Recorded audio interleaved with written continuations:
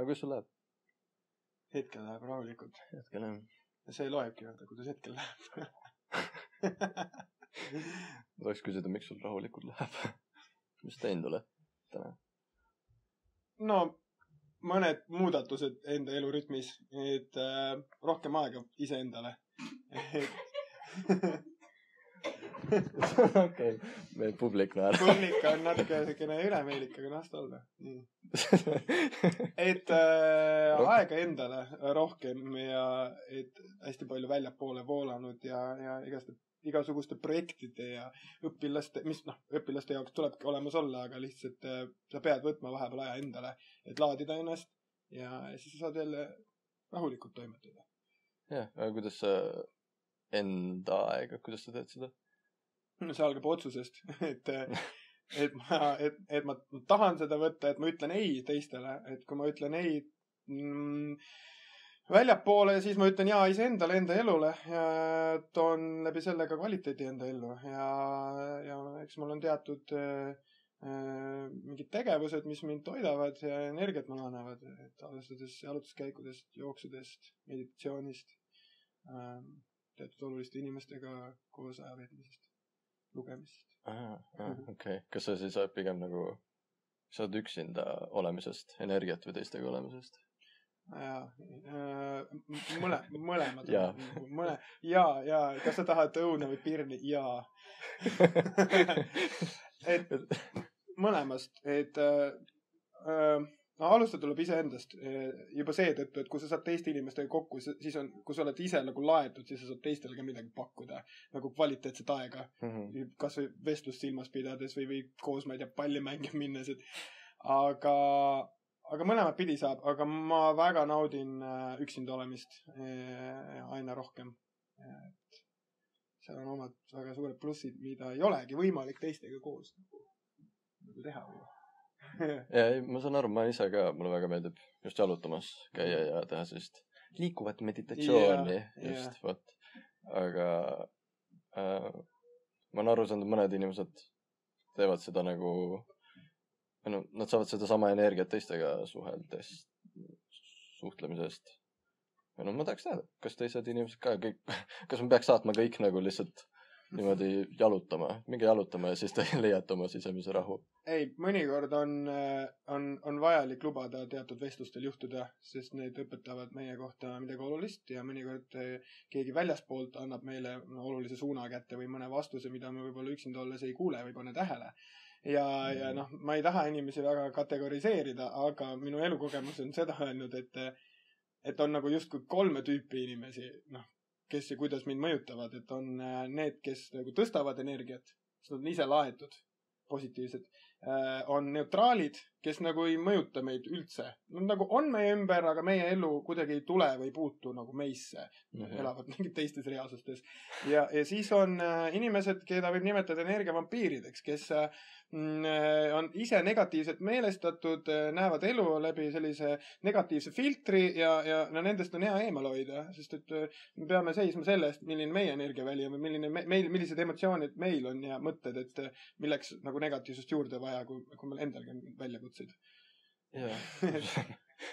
nii et äh, no siis peaks neid positiivseid inimesi otsima muidugi, ja aga vali, kellega sa suhtled ja keda sa oma ellu lubad, kellele sa oma tähelepanu annad.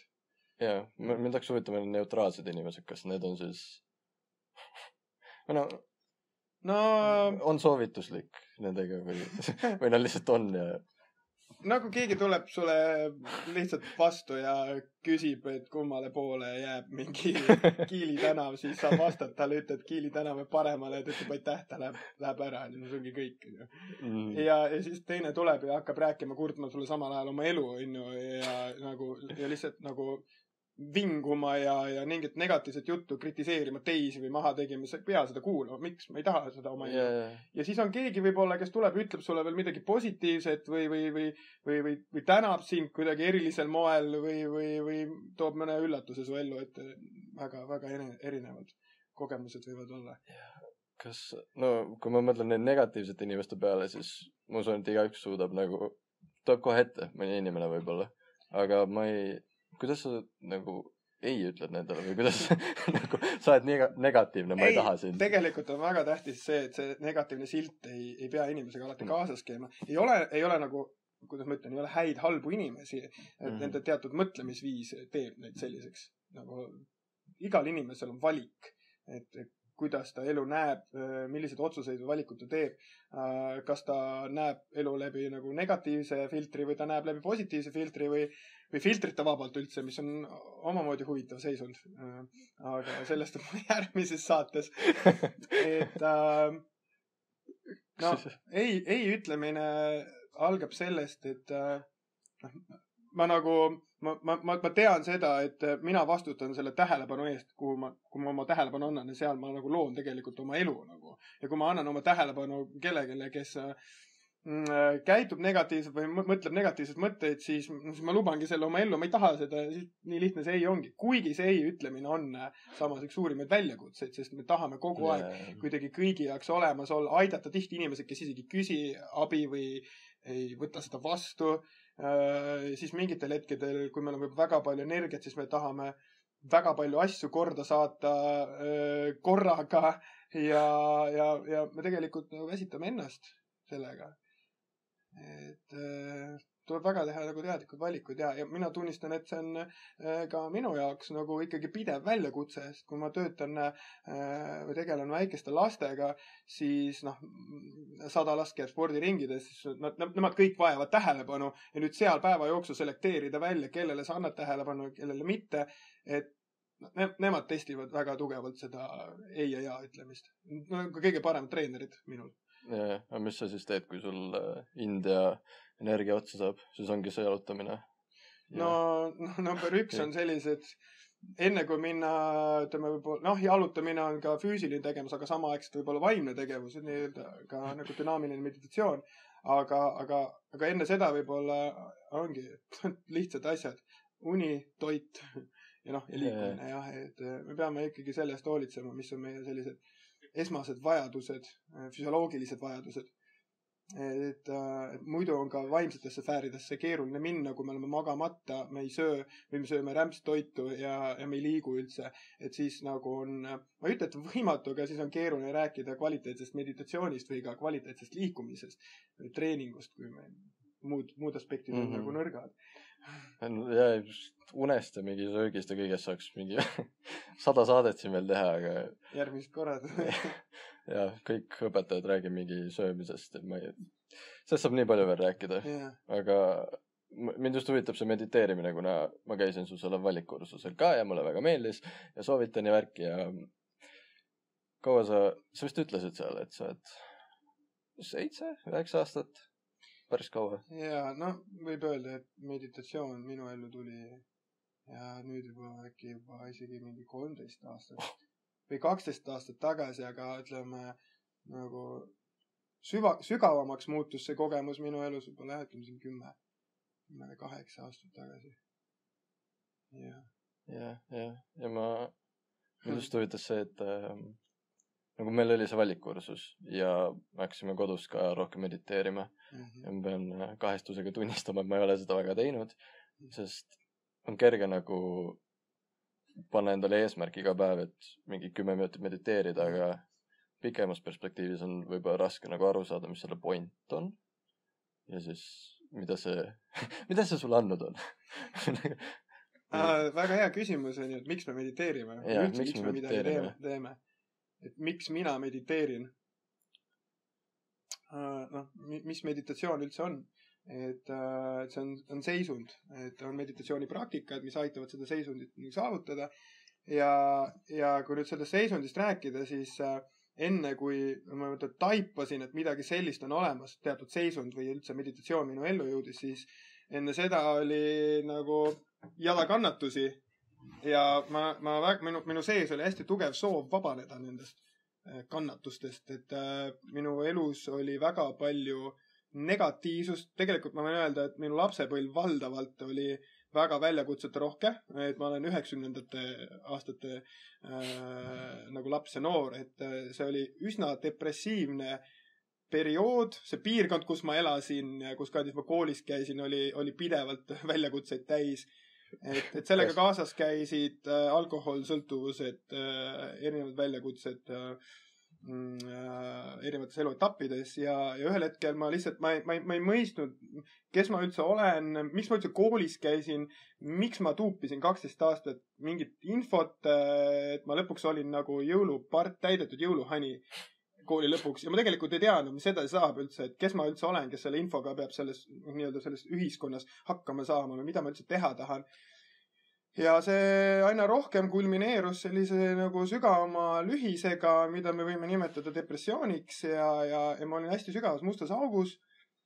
ja noh, lühidalt öeldes lihtsalt äh, ma tundsin, et midagi peab muutuma ja see algas sellest, kui ma kõige sügavamas depressiooniperioodis, ma kõndisin hästi palju linnas ringi, ma tihti istusin linnas äh, pargipinkidel tundide viisi, vahel kümme tundi. ma istusin kohvikutes tundide viisi, ma võisin juua ära kümneid tasse kohvisid ja ma olin niimoodi, et äh, ma olin kohvist üle laetud, samas ma olin, ma olin negatiivne, siis ma olin veel äh, selline impulsiivne, kohv, kohvi teeb ärevaks ja siis kõik need negatiivsed mõtted ja see veel kulmineerus omakorda veel, veel, veel sellise tumedama energiaga. siis ühel hetkel ma hakkasin nagu tähele panema, et, et okei okay,, et kõik need negatiivsed mõtted, et ma nagu, mul õnnestus neid kõrvalt näha, seda on raske sõnadega öelda, aga ma panin tähele, et need mõtted ei ole mina. et need mõtted korduvad, nad tulevad ja lähevad, et kui mina mõtlen mõtteid, siis peab olema keegi, kes ei ole mõtted. et, et seal, seal tekkis nagu selline nihe distants ja samaaegselt kuidagi mu ellu tulid ka mingisugused äh, sellised raamatud, videod, ma hakkasin nende vastu huvi tundma. et, et, et see, mis, mis meie sees on nagu tugevam soov või sügavam soov, see, see paratamatult toob meie ellu kas teatud inimesed või vahendid ja neid tuleb kasutada. ja, ja see, see kõik, see selline sümbioos siis tekitas sisemise kasvu ja minu jaoks depressioon oli võimalus kogeda elu hoopis uuel kujul ja näha seda hoopis teisel kujul, see on kasvamise koht. just nagu kui taimed teevad mingi protsessi läbi, enne kui nad õitsema hakkavad, siis nad on Mhm. pimedad. et see õis on kinni, nad ei näe tegelikkust. ja ma mõistsin, et ma olen terve lapsepõlve elanud udus ja, ja mul on kogu aeg räägitud, kes ma olen ja kuidas ma pean elama, mida ma pean tegema ja see tegelik mina oli seal nii-öelda õie sees peidus ja depressioon oli see koht, kus on võimalik äh, avaneda ja näha tegelikkust ja seda ja mõista rohkem seda, kes ma tegelikult olen. selles kogemuses, mis meil on, me nimetame eluks. pikk vastus, aga. ei, see oli, see oli väga hea, selles mõttes ma, palju noorem usun, et on praegu selles olukorras, kus sa olid ja ma natuke tundsin ennast ka seal ära umbes mingi aasta või kaks aastat tagasi Mhm. ja see on nagu tore, et sa sellest välja said, aga ku- kuidas, kus alustama peaks või kas sa peakski ootama seda mingit õiget hetke või kas see tuleb sinuni? ma mäletan väga ühte nagu olulist küsimust, mis äh, ma täna võin öelda, et see justkui on nagu meie sisse äh,, sisse struktureer-, struktureeritud ja see, see kasvab ühel hetkel loomulikul kujul meie seest välja. ja see küsimus on, kes ma olen. ja see, see küsimus tegelikult äh, kerkis äh, minu elus juba gümnaasiumis üles, aga siis oligi see, et äh, ma ei olnud valmis sellega minema sügavamale edasi, see hirmutas mind sest kui sa küsid, kes ma olen ja kui sa hakkad nagu vastama, et okei okay,, ma olen, ma ei tea, Märt või, või Piia või, siis kui sa nüüd paned tähele, siis sa mõtled, see on nimi ju. okei okay,, nimi, kas ma olen nimi? Läheme edasi, okei okay,, okei okay,, ma olen mees, mees, mees, see on sugu, kas ma olen sugu? ei saa olla ainult sugu ju. nii ja nii edasi, rahvus ja, ja kui nüüd selle küsimusega edasi minna, siis ühel hetkel mul seal seitsmeteist, kaheksateist aastaselt tekkis selline nagu kõhe tunne, sest see oli minu jaoks midagi nii suurt ja, ja see oli hirmus. sest ma nii olin samastunud selle identiteediga, Meelis Raiend, see gümnaasiumi õpilane, kes peab minema ülikooli, saama töö, naise, lapsed ja, ja et, et, et see nagu oli minu jaoks nii, nii palju korraga, et ma ei olnud valmis selle küsimusega minema sügavamale. Ja, ja, ja muidugi mu ümber olid inimesed, kes tegid kõik selleks, et ma valiksin teise tee, noh ja siis tuligi mingi etapp vahele, kus oli alkohol ja äh, peod, sõltuvused ja kõik muud asjad ja, ja ühel hetkel ma panin uuesti tähele seda küsimust, et ma, mul oli kogu aeg tahe sellest nagu välja tulla või ma tundsin, see ei ole päriselt mina. et, et ma sain ühel hetkel aru, et ma kannan näiteks oma äh, teatud oma vanemate mustrit, isa mustrit näiteks. et, et ma mõistsin, et tegelikult pidutsemine ei pea üldse aset leidma selliselt, nagu ma tegin seda. et see saab, see saab aset leida hoopis teisel kujul, hoopis nagu ennast vähem kahjustaval moel näiteks. Aga jaa, paraku oli mul väga palju mustreid kanda äh,, väga palju noh, traumasid, komplekse, enne kui ma jõudsin nagu sügavamale iseenda sisse ja minna selle, kes ma olen küsimuseks, see on väga oluline küsimus, aga selleks peab olema valmis, et, et sellega edasi minna, sest see võib nii-öelda rahvakeeli juhtme veel rohkem kokku ajada ja inimene kaotab äh, reaalsusega äh, noh, kontakti, ta hakkab, ta eraldub sellest igapäevaelust, mis meie kogemuses täna on normaalne tegelikult. ja võib-olla istubki balalaika puu all ainult äh, kümme aastat ja laulab mingeid mantrasid, see ei ole halb, aga kui palju ta panustab ümbritsevasse ellu ja, ja kas ta tegelikult naudib seda iseenda sees, võib-olla. no ta, no ta peaks alustama, see inimene peaks alustama mingi väikeste sammudega ja, kuidagi. ja, et, et üks asi, mis on oluline, tähele panna, väikesed lapsed küsivad küsimuse alati väljapoole. miks see nii on, õpetaja, mis see on, nii edasi. ühel hetkel toimub sissepoole pöördumine, need küsimused pöörduvad sissepoole, see hetk tuleb ära tabada ja tuleb julgeda minna edasi, sest et see elu, mida me elame, see on number üks meie kogemus. et, et me oleme nii palju kõikide teiste jaoks olemas, vanemate jaoks olema, kooli jaoks olemas, sõprade jaoks olemas, väliste asjade jaoks, nagu lapsed küsivad väljaspoolt. ja nüüd need väli, välised inimesed kogu aeg mõjutavad meid.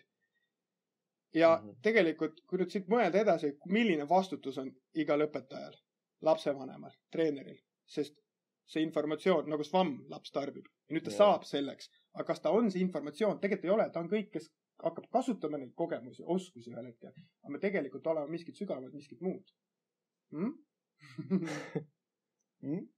ja, ja ja, ja. see, kas su need, või kuidas sa praegu vaatad tagasi nendele negatiivsetele või kas see kõik, mida sa läbi elasid, kas see oli nagu vajalik, et muutuda selleks, kes sa oled nüüd praegu? just, muidugi, lihtne. okei. see on, see on lugu, millest ma olen õppinud ja, ja sellel lool ei ole täna, tänase minuga mitte midagi pistmist, sest see on lugu, millele ma saan tagasi vaadata. lugu ei käi täna minuga enam kaasas. see on nagu arvutis on foldrid. jah, kui ma tahan, ma vaatan tagasi, aga need mineviku traumad ja kogemused ei juhi enam mind. et kui mul tuleb kellegagi kohtumine, siis mul ei käi mingisugused pildid, siis oli selline ebaõnnestumine, siis oli, siis mulle öeldi nii. ei, uus kogemus. ma ei tea, noh, ma ei tea, mis sellest sünnib. ma lasen sellel juhtuda ja kui on vaja, vaatan loole tagasi, aga lugu on mind voolinud. kindlasti. ja noh, nagu bu- budistid, budistide tarkus on või noh, õpetus on, et, et noh, nii-öelda unustada kõik seni õpetu, õpetatu, et nagu vabaneda kõigest sellest, mis sulle on räägitud, vaata, et asjad on, et saada Mhm. ise teada, et ise päriselt koge-, kogeda, võtta kõik uuel kujul vastu. ehk siis, et me ei ole see lugu, see on hästi oluline mõistmine. lugu on kogemus, aga me ei ole otseselt lugu. ma väga palju mõtlen sisse kõike seda praegu, nii, kõike seda tarkust. ära liiga palju võta. ei, ma võtan seda kui uut kogemust. Jaa, muidugi. just, just. see on hea teadmine. aga kus sa, kuidas sa praegu ennast tunned, kas sa oled, kas see eneseleidmine on selline lõputu teekond või jõuad lõpuks? oled sa, oled sa nüüd see Meelis Raiend sisemiselt, mitte just Meelis? ma olen see, kes ma praegu siin olen, onju. No Meelis Raiend on, on mu nimi jah, eks, see on see, kellel sa näitad ennast. kogemuse nimi. lõputu teekond on igal juhul aga see, et kui me räägime eneseleidmisest, siis tähendab see seda, et me oleme nagu mingi aeg kadunud või? me oleme tegelikult kogu aeg siin olemas, aga oma peas me kaome kusagile ära. et me oleme kogu aeg eemal nagu hetkest, kus me tegelikult oleme ja, ja me, me kanname kaasas mingi pilti iseendast. seesama pilt, mis on kujunenud lapsest saati. identiteet, lugu. aga siis, kas see on nagu, sa ei ole täi-, kas täisväärtusliku elu jaoks sa peaksid nagu leidma ennast ja nägema seda pilti või kas sa võid lihtsalt elada kogu elu udus ja olla rahul sellega? ja võib, et äh, on, on kindlasti meie ümber inimesi, kes lihtsalt kulgevad läbi elu. võib-olla äh, omamata nagu sügavamat kogemust või, või võib-olla mõistmata äh,, mõistmata eksistentsi sellist olemust või äh, meie olemuse tuuma. ja, ja nad võib-olla voolavadki läbi ilma kannatusteta, võibki olla. Nende, nende võib-olla äh, noh, nende, nende, nende peres ei pruugi olla väga suuri mingeid traumasid, negatiivseid kogemusi. nagu võib. võib kas need traumad on siis nagu eeldus, et sa läbi traumade, läbi kannatuste me areneme ja õpime kindlasti, muidugi. meil on ju valida, kas me tahame kogu elu kannatada või me tahame õppida ja, ja, ja muuta. et me ei kordaks neid kannatusi, sest inimesed on, meie, meie käitumine on mustriline. me oleme nagu sellised kordajad, erinevate mustrite kordajad, mis ei tähenda alati negatiivsed mustrid. Need mustrid on võimalik äh, murda ja see, see algab sellest, kui me mõistame, et jaa, et vanemad on meile andnud selle kogemuse, me ei ole vanemate omad. me oleme tegelikult eraldiseisvad kogejad, eraldiseisvad olendid, kellel on inim-, inim-, inimeseks olemise kogemus. ja, ja, ja nüüd lihtsalt väiksest peale me, me, me ei taju seda, me ahmime kõike sisse eeskujudelt, jah. ja, ja siis me nagu saamegi selleks nii-öelda ema, isa minimudeliteks ja, ja sealt on väga keeruline mm, ühel hetkel välja astuda, kui neid traumasid on palju. sa oled nagu sellises, nagu mina ütlesin, minu kogemus oli jah, sellises udus, ma ei, ma ei, ma ei mõistnud üldse, et miks ma kannatan nii palju ja, ja, ja, ja, ja miks see maailm mulle toona nii negatiivsena tundus. aga, aga see hääl kogu aeg, et ma ei ole see, et ma ei, ma ei, ma ei taha sellist elu elada, ma tahan teistsugust elu elada, ma seda kuulasin, panin kogu aeg tähele.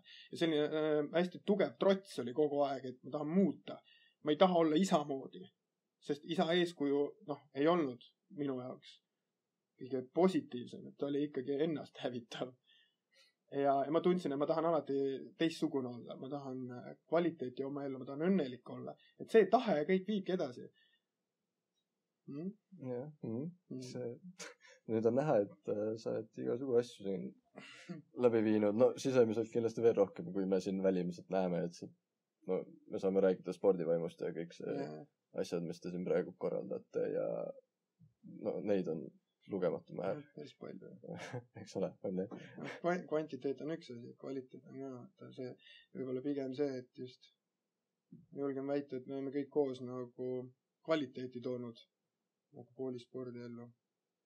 ja et, et inimestel oleks hea selles, nendes protsessides osaleda ja projektides. no see on see on nagu olulisem ja ma tegelikult tunnen, et võib-olla see on veel, millele veel rohkem praegusel hetkel ka tähelepanu pöörata, et arvestades seda, mis toimub üldse meie ümber. Et inimesed on tegelikult äh, lahku löödud üksteisest mm,. pidevad eneseisolatsioonid, igasugused sotsiaalsed distantseerumised ja ma siin väga noh, detailidesse ei hakka minema parem, aga, aga noh, kui me vaatame otsa faktidele, siis see ju tegelikult seda tähendab. meil on väga vähe olnud võimalust nagu koos olla, omavahel koos luua, aga samas mündil on kaks poolt, see on olnud hea võimalus võtta aeg endale ja, ja üldse proovida mingeid erinevaid tegevusi hoopis öö, uuel kujul, onju. minna, minna, minna Nõmme tänavatele nagu koos õpilastega suusatama keset tänavaid nagu äh, öösel või õhtul hilja, noh, äge, et on võimalik. tuleb näha võimalusi, mitte takistusi, et see on nagu valik, et mõned inimesed näevad takistusi, mõned näevad võimalusi. see koroonaga vist seda oli kõige rohkem näha ka. Et ikka takistusi oli rohkem näha, aga teil kasvõi mingi spordivaimuga sai mingi videoid tehtud ja ja, teistmoodi väga lõbus ju. ja kus, kust sul tuleb see pealehakkamine või kas see on ka õpitud asi, selline spontaansus pealehakkamine ja no üks Ja. on see, et äh, hetkel ma, hetkel veel ma olen õiges kohas ja siis, kui sa teed õiget asja või see, mis sa nagu, milleks sa oled, noh, võibki öelda, milleks sa oled siia ilma sündinud või siia maailma tekkinud ja kui sa teed seda asja, mis, mis su enda nagu südames mm,, mis kattub sellega, kuidas sinu nagu nagu süda tunneb, et sa nagu resoneerud sellesama energiaga, siis on lihtne, sellepärast et siis sul see entusiasm on, on püsiv. Et sa teed seda, mida sa naudid, siis, siis see voolamine on loomulik, aga, aga loomulikult siin on omad ohud, vaata, et, et, et üks on see nii-öelda jällegi väljapoole maailmale andmine teistele, teistele, teiste teenimine, teistele parema elukeskkonna ja tingimuste loomine, aga, aga noh, ma tõstan käe üles ja tunnistan, et ma olen nagu jätnud, noh, võib-olla olen ohverdanud teatud isiklikud aspektid või isikliku isiklikku elu mingil määral, aga see on minu vabad valikud ja nii peab praegu olema, et ma ei kahetse. see on nagu ka selline tasakaal, mida sa pead just leidma., just. ja, et äh, jah, ega mulle meeldib nagu väga äh, töö laste ja noortega, et see on, see on, ma arvan, see, mis on väga nagu vajalik, mis on väga vajalik üleüldse. sest koolis on äh, koht, kus ju õpilased kokku tulevad, kus noored on ja, ja nagu noortes on palju potentsiaali, et tuleb nagu toetada seda ja, ja, ja aidata sellel nagu realiseeruda või noh, selle nagu tõeks saada. igaühel aidata oma tee leida, mitte öelda, kuidas asjad käivad. et meditatsioonivalikkursusel ka ma alati rõhutan, et kui ma räägin midagi, siis alati on see teie kõigi jaoks teooria. Teie enda kogemus loeb. et kuulake, aga olge ka nii-öelda heas mõttes skeptilised. kuulake, pange tähele, proovige, katsetage ise, saage ise teada. kogemus loeb. küll aga neid võimalusi on igalühel tegelikult ju põhimõtteliselt sama palju, aga, aga mõned lihtsalt panevad rohkem neid tähele. täpselt. kuidas mina saaksin rohkem enda võimalusi tähele panna? pane tähele. okei. ole tähelepanelik, ole tähelepanelik. see on tähelepanu on, on, on, on nagu üks selliseid võtmemomente või noh, alus inimese tegutsemisel, sest et äh, noh, nagu ma alguses ütlesin ka, et sinna, kuhu me oma tähelepanu anname, seal me oma elu nagu loome. et kui meie tähelepanu kogu aeg teistel, siis me lihtsalt ühel hetkel elame teiste elu. et see, see, sa, sa pead olema justkui hallis alas, et vahepeal, et sa oled teadlik protsessis iseenda sees, sa oled teadlik iseendast, aga sa oled ka teadlik teistest inimestest olukordades, aga sa ei kaota ennast teistesse inimestesse ära. et sa alati tead, mis hetkel sul on vaja paus võtta, sa alati tead, millal on energiavampiir su elus, millal distantseeruda. tähelepanu, tähelepanu. kellele äh, ja millele me oma tähelepanu anname, meie ainult vastutame selle eest mm. kui palju kell on? ma mõtlesin sama asja. mul on äh, lapsed vist seal võimle ees. kas ma käin korra ära ja siis tuleb tagasi või? ei, me võime lõpetada, ma arvan, et siin oli palju tarka juttu, nii et noh, aitäh sulle. aitäh seda ära sisse panna.